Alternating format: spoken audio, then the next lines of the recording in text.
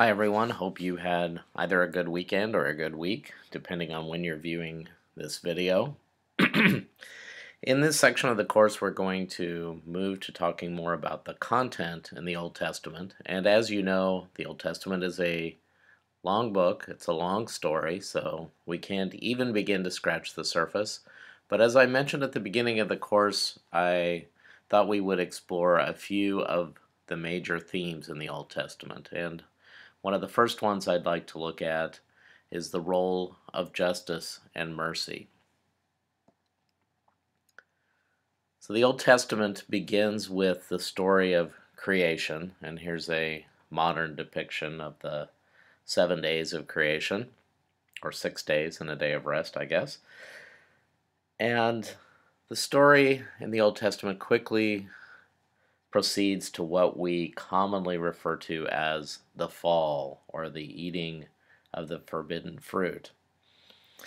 And it's here that we are reminded that the Bible is a very concise text and it leaves out a lot of details. The first people eat the forbidden fruit, as we know, and the punishment that is described in Genesis 2 7 is that on the day of that you eat of it, you will surely die. And right away, the one of the very first stories, um, we have a mystery. The people actually don't die on that day, as God has said. So, what's going on here? Of course, people over the centuries have developed all kinds of midrash to explain why the people don't die, or that the people die spiritually, or that the people will die someday, but maybe not on that day. But these are all not terribly satisfying.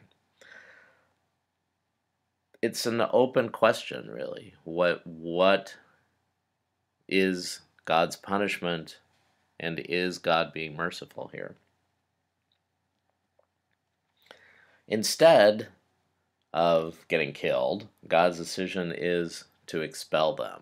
And they end up leading lives that sound more or less ordinary and everyday to us. Um, but we see that the themes of expulsion and alienation from God continue throughout the rest of the, the Old Testament. So I think it's important to keep that in mind. We then move to the story of the first two brothers, and the Bible, Old and New Testament, is full of stories about brothers, about sibling rivalry, about favoritism, and unfortunately about how that can end in violence. So it's really in the story of Cain and Abel where we first hear the word sin. Sin is never associated with the eating of the forbidden fruit. And of course, this favoritism, uh, in this case from God, ends up in deadly violence. And like his parents, Cain is expelled. We would think under Israelite law, which comes along later, that Cain probably deserves to die for his murder. But he gets off scot free, and moreover is protected by God. So is this justice or mercy or both? It perhaps seems that for God, justice is mercy, and our own sensibilities about what is just and fair can be significantly challenged by some of these stories. Of course, we get the flood story early on. And in effect, God evokes a reset for his creation. And it seems that it is his creation to do with as he wills. But he destroys the earth for a reason. In Genesis 6:11 we hear that the earth is full of violence. So the violence that's perpetrated in chapter 4 um, expands exponentially.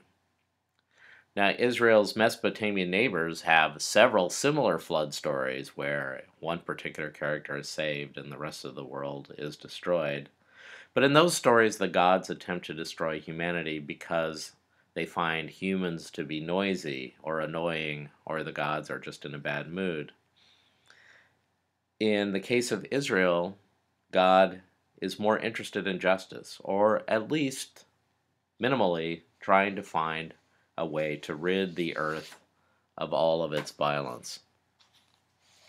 Of course, we all know that the flood story doesn't really work because maybe humans are the way they are, and the violence in later stories simply continues. And this first section of Genesis ends in the somewhat odd story of the Tower of Babel, where humans try to reach God with wonderful tall buildings, particularly under their own power. And God thwarts their efforts because this doesn't seem to be God's plan in reaching out to humans. So he has something different in mind. And we move to the story in Genesis 12, the call of Abram. You have to look pretty closely in this painting to find Abram, but he's there. So Abram is sort of a random Mesopotamian guy, and God tells him to move to the land of Canaan. And surprisingly, Abram complies. In chapter 15, God makes a covenant with Abram, so the idea of covenant becomes an important idea in the Old Testament. And we are told that Abram believes God and that Abram's belief is enough for God to consider him righteous. Later in the New Testament, Paul, in his letter to the Galatians, points to this one particular moment in the Old Testament as the quintessential moment of faith. Abram believes God. Now, like Cain and Abel, there are lots of stories about brothers, as I said, and a lots of, and many stories about alienation and expulsion. So here, Abram has two sons, at least at the beginning of the story, Isaac and Ishmael. And while no one gets killed here, we have a lot of favoritism and rivalry, and the story ends in another sad, alienating expulsion. God asks Abraham to kill the other son in chapter 22, a story that has probably generated more commentary than any other story in the entire Bible, maybe. And again, we as readers think about the justice of the entire situation. Why does God put Abraham through this test? And the answers aren't always very satisfying. In the Abraham stories, we also find that Abraham isn't always such a moral character. So, again, unlike the hero stories that we find in the literature of Israel's neighbors, um, the heroes for Israel aren't always perfect. In fact, they are often very imperfect, very unjust. So, in the Abram stories, we see, for example, um, Abram selling off or marrying off, you might even say in this culture, his wife to Pharaoh, ostensibly to protect himself, but Abraham, by this point, ends up getting very rich in the process. And it is here that we first encounter the character of Pharaoh. And pharaohs are all uh, quite the same in the Bible. Um, sometimes they seem benevolent, but that usually gets the Israelites in trouble. And Egypt and Pharaoh are more or less representatives of empire in the Old Testament. And as we said, Israel, being a small nation, is constantly under the threat of its surrounding empires. Israel is always drawn toward riches and what seems like the protection of empires, but in the end, getting cozy with Egypt always gets them into trouble. As the generations pass, we have more stories of brothers, more favorable treatment, and more sibling rivalry and potential for family violence. We get to the story of Jacob. And Jacob has a brother, Esau. Jacob's name means he will supplant, or even he will act treacherously, and he certainly lives up to his name. He tricks his brother out of his birthright and blessing, and is expelled from his home as a result. One thing about the Jacob story that I always find interesting is that you have to just keep reading. If you read each incident in isolation, you may think that the Bible is somehow approving of Jacob's somewhat treacherous actions or his, his tricksterism. But in the end, Jacob gets tricked himself. He's tricked into marrying a woman that he wasn't particularly happy about. He is tricked by his sons later into thinking that one of his other sons have been killed, Joseph. So a lot of what happens to Jacob comes back to haunt him later in life. So there is something here again about justice that even though justice seems to be absent from the story, it does come back and work its way into the story eventually. But unlike the other stories of expulsion, Jacob eventually returns and is reunited with his brother in the end. In a story that we might expect to end badly, to end in violence, Jacob says in Genesis 33, when he sees his brother again after many years, For truly to see your face is like seeing the face of God, since you have received me with such favor. So, in the midst of all his trickery, Jacob is able to recognize the image of God in his brother, and we are again reminded of those first humans back in Genesis, Genesis 1, in the creation story, who are created in the image of God.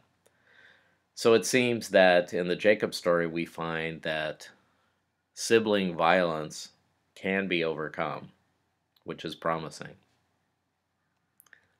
Eventually, the, the family decides to move to Egypt and apparently abandon their land that is promised to Abraham. And given the family's previous encounters with Egypt, we already know that this probably won't end well. And it doesn't, because the Israelites end up in slavery. And this is just what happens when you get cozy with the empire.